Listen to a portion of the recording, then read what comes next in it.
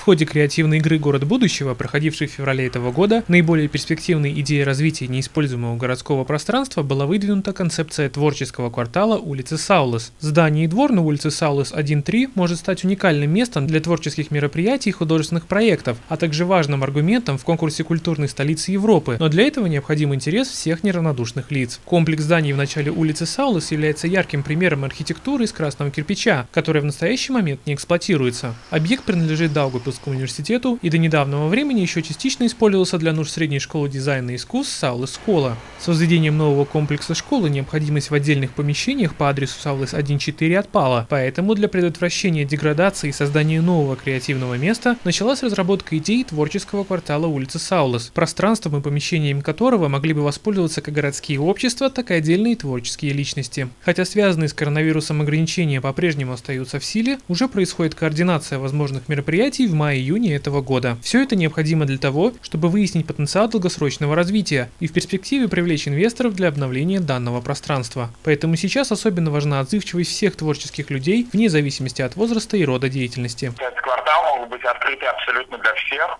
без каких-либо ограничений а, ни по возрасту, ни по интересам. И сейчас это тот момент, когда мы можем пытаться вместе планировать это лето, планировать этот сезон, думать, э, что бы мы хотели там делать, как, как это должно было бы выглядеть. И это очень большой шанс именно сейчас своими действиями, своими концертами, спектаклями, э, лекциями и так далее оживить э, целый квартал в центре города. В настоящее время ряд негосударственных организаций и активисты школы Саулас готовы оживить эту территорию. Предстоит тесное сотрудничество с городской думой и Даугапилским университетом. Квартал улицы Саулас может стать новым центром коворкинга, искусства, образования и просто интересного времяпрепровождения. Поэтому инициативная группа просит присылать свои идеи на электронную почту или на официальную страницу творческого квартала в Facebook. Сюжет подготовил отдел общественных отношений и маркетинга Даугапилской городской думы.